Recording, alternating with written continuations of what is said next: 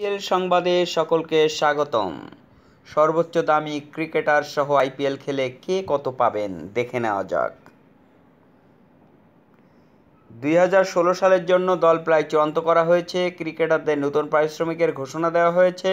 বিশ্বের বড় বড় ক্রিকেটারদের মূল্য নির্ধারণ করা হয়েছে। গেল কোহলিদের বেতন কাঠামোয় আমূল পরিবর্তন আনা হয়েছে। এক তারকার মূল্য সবচেয়ে বেশি নির্ধারণ করা হয়েছে ক্রিস গেইল। অবশ্য এরই মধ্যে জেনে গেছেন যে দুই হাজার ষোলোর আইপিএলে অংশ নিলে তিনি কত কোটি টাকা পাবেন? আইপিএলের আগের আসরে সবচেয়ে দামি ক্রিকেটার ছিলেন যুবরাজ সিং। এবার তো সিটকে গেলেন তিনি। দুই হাজার ষোলো সালের বিপিএলের জন্য সবচেয়ে দামি ক্রিকেটার কারা হয়েছে? বিরাট কোহলিকে।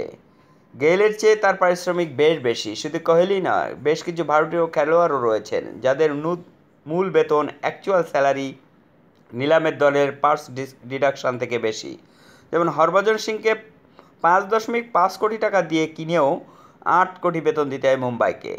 আম্বাতি রায়ডুর দর নিলামে চার কোটি, মূল বেতন ছয় কোটিরও বেশি। বিদেশিদের ক্ষেত্রে সবথেকে বেশি বেতন পান ক্রিস গেল। নিলামে দর সাত দশমিক পাঁচ কোটি, মূল বেতন আট দশমিক চার কোটি।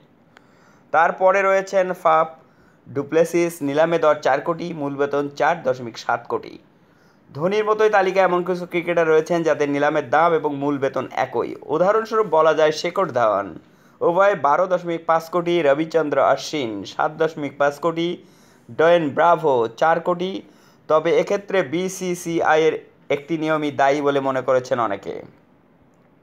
পুনে এবং রাজকোটের খেলোয়াড়দের নিলামের আগেই বিসিসিআই স্পষ্ট জানিয়ে দিয়েছিল, তারা আগের ফ্রাঞ্চাইজির হয়ে যে বেতন পাচ্ছিলেন, এখানে সেই বেতনই পাবেন।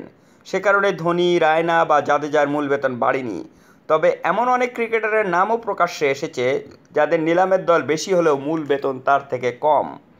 এক্ষেত্রে সবথেকে এগিয়ে পাঞ্জাবের ডেভিড মিলার।